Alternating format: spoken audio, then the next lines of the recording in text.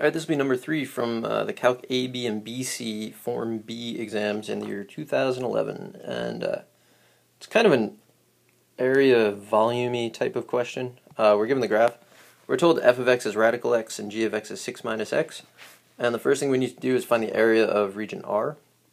Um, and region R is, I mean, there's two pieces to it. There's the first piece, which will be um, the integral of f of x from 0 to 4.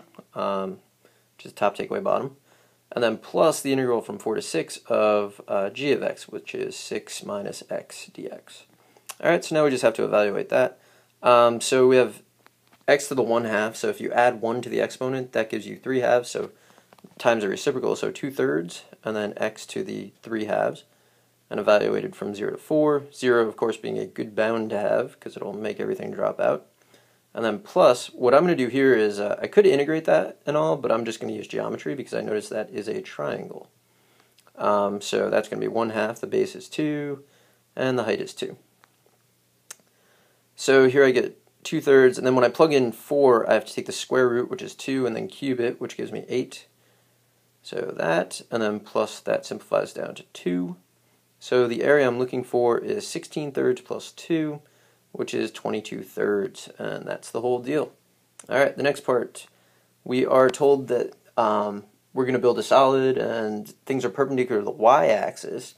So it's kind of important to draw in that little strip right there.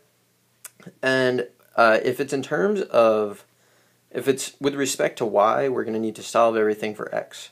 So this curve becomes x equals 6 minus y, and this curve becomes x equals y squared. Alright, now the cross sections are rectangles, so I know that the area of a rectangle is base times height. So it's going to be the integral from, now it's dy, so it goes from 0, and then all the way up to 2. And base times height, so the base is in the region R, so that's going to be right take away left. So the right curve is 6 minus y, and then take away the left curve is y squared. And then I have to multiply by the height, and we're just told in the problem that the height is 2y. So that's just going to be times 2y, and then dy. And there's your base, there's your height. And if we were to evaluate that, it would give us the volume, but the problem says not to, so we're not going to.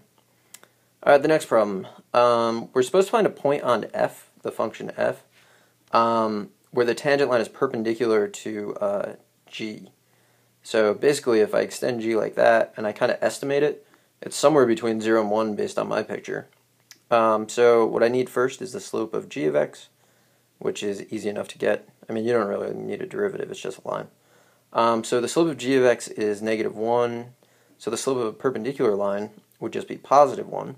So what I really need is for f prime of x to equal 1, and then I'll solve that. So let's find f prime of x, just a little power rule, 1 half x to the negative 1 half.